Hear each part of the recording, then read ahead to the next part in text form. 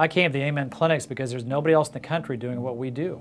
At the Amen Clinic, uh, we take two-hour histories, but we look at brain physiology, uh, not just symptom clusters.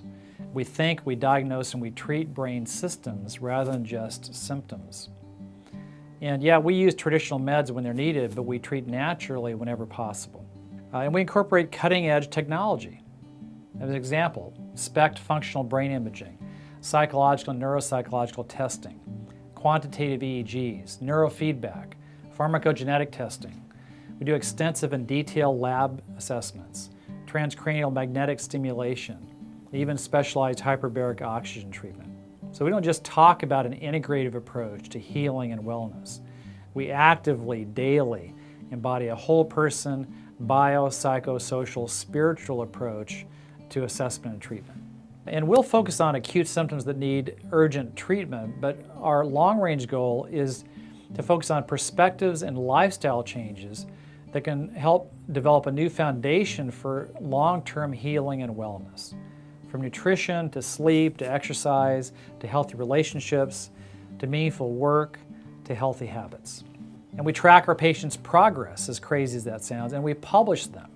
So you can compare our effectiveness with other leading facilities across the country, like the Cleveland Clinic. And we see mind body as one.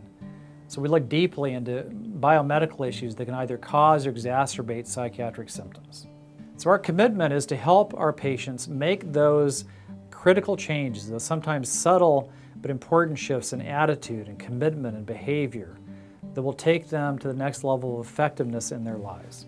We treat those who've not responded to treatment as usual uh, or whose values uh, don't resonate with that mainstream approach. So we work with those individuals, with those families, we diagnose and treat them across multiple dimensions, and we motivate them to become zealots for brain, body, emotional, and spiritual health. So what I tell patients is if your general practitioner or your psychiatrist is working great for you, terrific. You probably don't need our help. But if you need fresh eyes, an alternative approach to health and to well-being that leverages current technology, you need the Amen Clinic. Because the bottom line is that we're not bound by convention or establishment thinking or by what a third-party administrator will authorize for you. We are for natural, sustainable clinical progress, not for the enrichment of drug companies.